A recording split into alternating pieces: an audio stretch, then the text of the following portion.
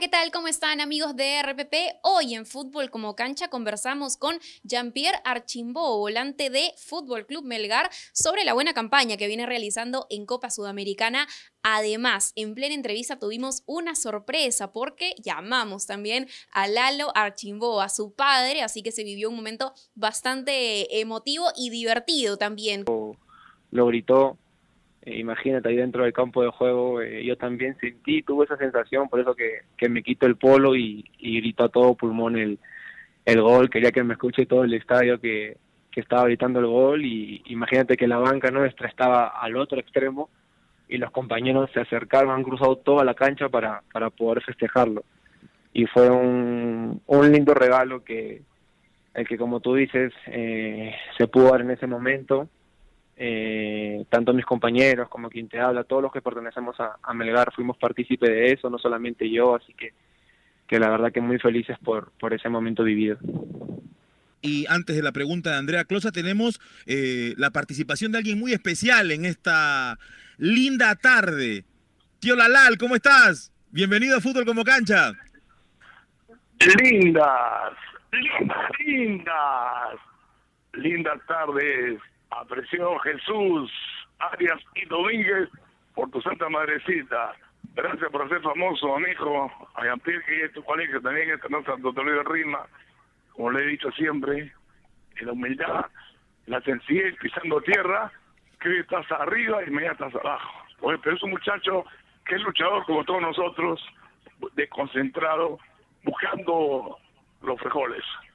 Conversamos además con Juan Vera, periodista de ADN Chile, sobre este reclamo que ha presentado la Federación Chilena de Fútbol ante la FIFA por presunta falsa nacionalidad de Byron Castillo.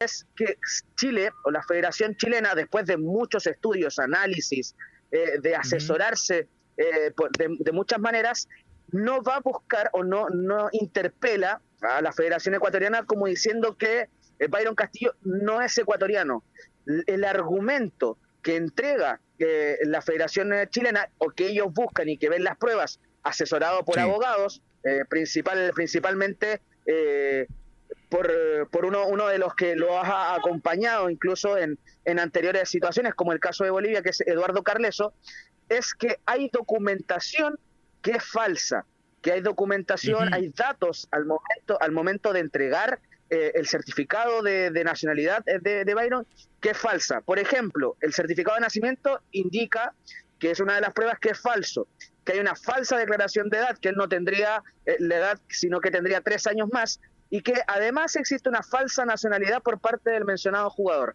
Eso es lo que encontró la Federación Chilena y de, en base a aquello eh, va a realizar, va a más bien la denuncia a la, a la FIFA y veremos qué, situación se va, se va a tomar en, en, torno a eso.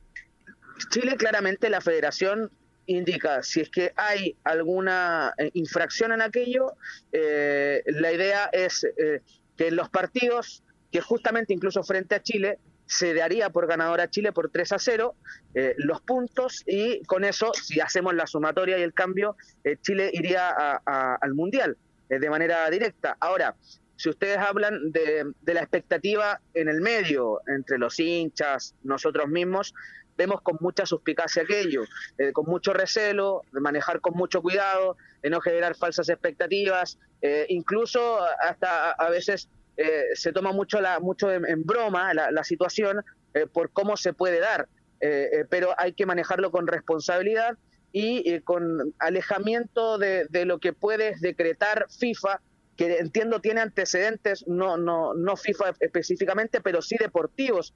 Eh, entiendo que hay casos eh, de España que, que, no ha ido al mundial un mundial de rugby eh, por situaciones parecidas, por temas de nacionalidad, de jugadores, de deportistas, y esperar cuál será la resolución de parte de FIFA. Desde la federación vieron una opción, se dieron cuenta que estaban los plazos, que había algo que no les, no les parecía que estaba siendo cumplido y por lo tanto eh, decidieron juntar los argumentos, las pruebas y presentarlos a, la FIFA. También analizamos lo que fue el empate de Sporting Cristal ante la Universidad Católica y lo que será el encuentro entre Alianza Lima y Colo Colo por Copa Libertadores. Esta y más informaciones en la web de RPP y en las plataformas digitales.